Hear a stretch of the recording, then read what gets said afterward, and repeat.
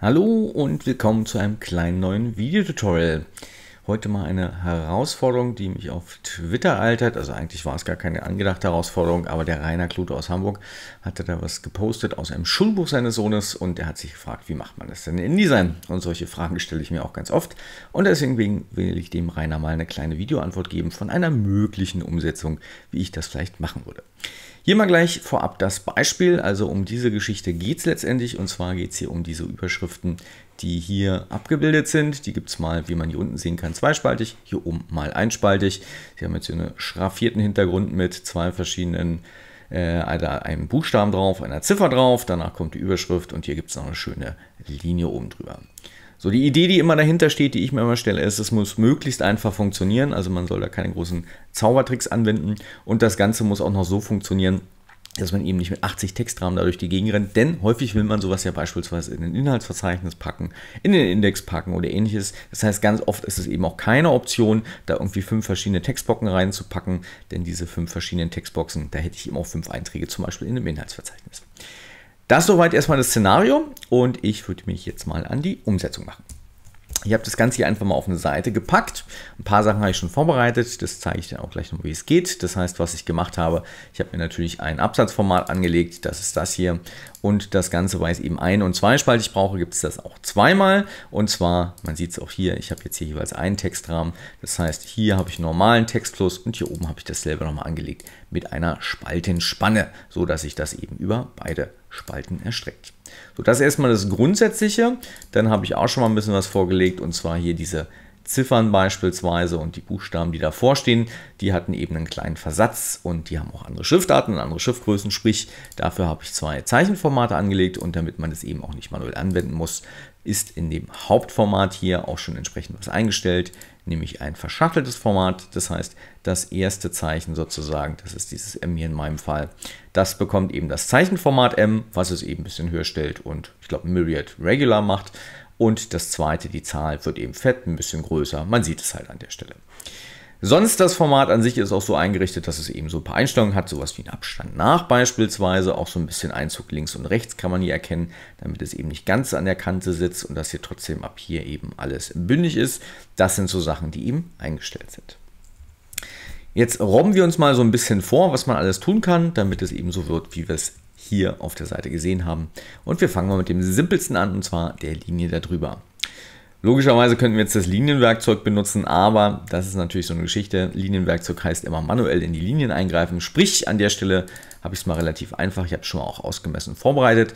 Das, was ich jetzt brauche, ist sozusagen eine Linie da drüber. Das geht mit der ähm, Absatzlinie beispielsweise oder eben schon seit verschiedenen Versionen kann man halt auch die Absatzkonturen benutzen oder Absatzrahmen, wie es ja auch heißt. Das erste, was ich also gemacht habe, ich habe mir eine entsprechende eigene Konturenstil angelegt weil die offiziellen, die passt nicht ganz. Das heißt, hier mein Header bin ich mal reingegangen, habe ein kleineres Muster angelegt und eben so eine Strichstärke definiert. Das könnte man sich noch entsprechend ein bisschen schön einstellen. Das heißt, das werde ich gleich benutzen, um eben das, was hier oben drin ist, auch entsprechend darzustellen. Das zweite ist, ich habe natürlich auch ein Farbfeld angelegt. Das zeige ich jetzt mal nicht. Ich denke, wir wissen alle, wie man Farbfelder anlegt. Und jetzt gehe ich einfach mal rein und aktiviere jetzt in dem Fall mal den Absatzrahmen. Und hier habe ich die Werte alle schon mal voreingestellt. Wir können uns das im Hintergrund mal anschauen. Hier sehen wir, überall kommt halt mit der entsprechenden Färbung, der entsprechenden Größe, dem entsprechenden Offset, kommt das eben entsprechend alles rein. Und wie wir auch sehen können, ist, das Ganze funktioniert eben auch sowohl für zweispaltig als auch für einspaltig. Das heißt, die Sache ist relativ simpel zu lösen. Jetzt wird es ein bisschen kniffliger, denn jetzt kommen wir hier zu diesem schönen Muster. Ja, dieses schöne Muster soll eben dargestellt werden und wie gesagt, der Ansatz wäre jetzt möglichst automatisiert das Ganze zu machen. Idee Nummer 1, wir nehmen jetzt hier, ich habe das einfach mal aus InDesign-Flächen aufgebaut, ne? wir nehmen einfach diese entsprechenden Muster, bauen uns die zurecht. Ich habe es jetzt immer nicht perfekt gemacht. Schieben die an die richtige Stelle, müssen dann so ein bisschen gucken, dass die Höhe passt. In meinem Fall reicht nicht ganz von der Breite, aber das könnte man sich ausmessen. Jetzt sieht man auch schon, ich bin jetzt im Hintergrund, deswegen liegt die Linie drüber. Das wäre so ein bisschen doof. Man könnte das jetzt auch natürlich nach vorne setzen, also ganz normal über die Anordnen-Funktion beispielsweise liegt es natürlich alles drüber. Das Ganze kriegt man also so in dem Kontext mit der Linie schon mal gar nicht hin, aber das viel größere Problem ist, ich muss das ja jedes Mal da manuell hinschieben, das möchte ich nicht. Das heißt, die einzige Option, die ich jetzt habe, ist das Objekt zu verankern. Das heißt, hierfür gibt es diese kleine Ankermarke, ich kann die nehmen, kann die beispielsweise hier vorne hinsetzen. Dumme Geschichte, jetzt ist der Text weg. Jetzt überdeckt nämlich dieses verankerte Objekt den Text. Das wollen wir auch nicht. Was wir noch probieren können, ist das hier nach hinten setzen. Auch das geht nicht.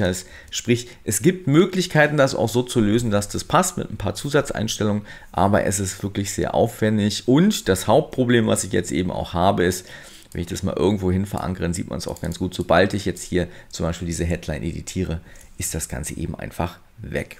Das heißt, an der Stelle würde ich mal sagen, mh, hm, nee, keine gute Option. Heißt, wir brauchen eine zweite Option. Irgendwie müssen wir ein Muster hinkriegen. Das Muster muss mit dem Text zusammenspielen. Für Muster an sich gibt es jetzt hier keinen Generator oder sowas. Also in Illustrator beispielsweise hätte einen Mustergenerator. Das, was ich immer benutze, um Muster zu generieren, das sind die Farbfelder. Und zwar, ich habe sie schon mal einmal vorbereitet, man kann Verläufe anlegen. Und zwar Verläufe so, dass sie aussehen wie Muster. Dazu gehe ich einfach mal hier in mein entsprechendes Muster rein, was ich schon vorbereitet habe. Und hier ist es letztendlich so, ich habe mir zwei Farbfelder angelegt, eben ein helleres Rot und ein dunkleres Rot. Und die packe ich hier im Wechsel rein. Man kann es hier schon so ein bisschen sehen. Ich zeige jetzt mal für die nächsten. Ich habe es jetzt aus Faulheit noch nicht ganz aufbereitet. Das heißt, ich würde jetzt die nächste Positionsmarke bei 70 setzen. Das heißt, ich wähle mir hier mein Farbfeld aus, in meinem Fall das Dunkle, setze das genau auf 70. Ja, sieht man noch gar nichts, aber jetzt kommt der Gag. Jetzt setze ich auch wieder auf 70, nämlich das andere Farbfeld, und zwar das hellere, das hier oben. Ja, und jetzt sieht man schon, ab jetzt kriegt man eben genau dieses Muster hin. Das heißt, wenn man ein bisschen fleißig ist, kann man genau dieses Muster aufbereiten.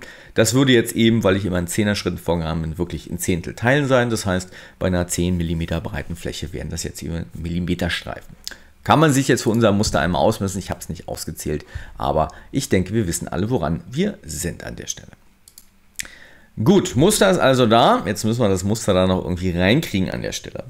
Und auch das habe ich schon mal vorbereitet damit wir uns nicht gleich tot machen mit allem Ausmessen und ähnlich mehr. Das kostet ein bisschen Zeit. Und zwar habe ich hier jetzt mir überlegt, was könnte ich denn tun? Ich könnte jetzt hergehen, ich könnte die Absatzschattierung benutzen. Ja, das wäre eine problematische Geschichte, weil hier habe ich was Zweizeiliges beispielsweise und weiter oben ist es einzeilig, es kann auch dreizeilig sein. Abschattierung läuft halt immer per se in Abhängigkeit vom ganzen Absatz. Deswegen bin ich hier nicht dynamisch genug, weil ich möchte ja nur den ersten Eintrag. Ergo, ich habe mich auch hier entschieden, an der Stelle die Absatzlinie zu nehmen.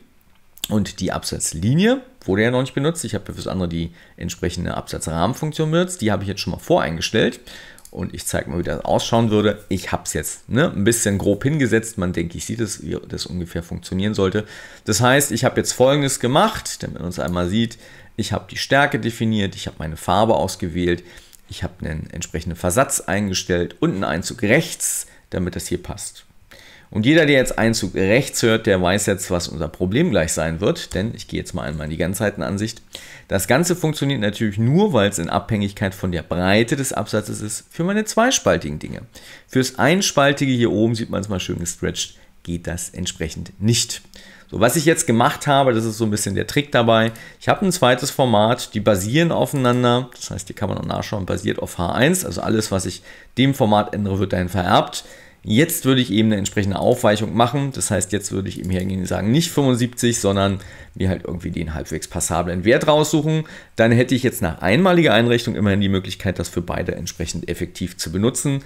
Auch wenn es natürlich immer schwierig ist, trotzdem noch selektiv das richtige Format nehmen zu müssen. Aber wie gesagt, eine andere Möglichkeit habe ich jetzt hier nicht gefunden, das Ganze so einheitlich zu machen, dass es immer funktioniert. Das letzte, was man so ein bisschen tun kann, das war so ein bisschen Feintuning, was ich denn gemacht habe. Beispielsweise hier die Farbe ändern und man könnte es jetzt alles auch ein bisschen einfacher und feiner austarieren. Aber sonst, ich habe es jetzt auch nicht maßgeblich sauer gemacht. Man kann es hier vielleicht auch so ein bisschen sehen. Die Höhe ist nicht ganz perfekt. Müsste man noch ein bisschen rechnen. Aber sonst im Prinzip funktioniert schon ganz gut. Und ich bin jetzt in der Lage, auch zum Beispiel mit diesen Einträgen, könnte ich ein Inhaltsverzeichnis generieren. Ja, das wäre gar kein Problem. Würde ich nicht schaffen, zum Beispiel, wenn ich jetzt hergehen würde und sage, M2 ist zum Beispiel ein eigener Textrahmen, dann hätte ich das nicht. Wenn ich natürlich die Anforderung hätte, M2 soll zum Beispiel nicht ins Inhaltsverzeichnis, dann würde ich die Sache wahrscheinlich wieder anders aufbauen. Aber ich wollte euch mal eine Möglichkeit zeigen, wie man das so möglichst elegant unter eine Haube bekommt. Ja, das war jetzt so meine Idee und meine Lösung dafür. Vielleicht kennt ihr eine andere oder eine bessere, denn Gerne ein Feedback dazu als Kommentar, gerne auch als Video natürlich oder was auch immer euch sonst so einfällt. Ja, dann vielen Dank fürs Zuhören und Zusehen und bis zum nächsten Mal.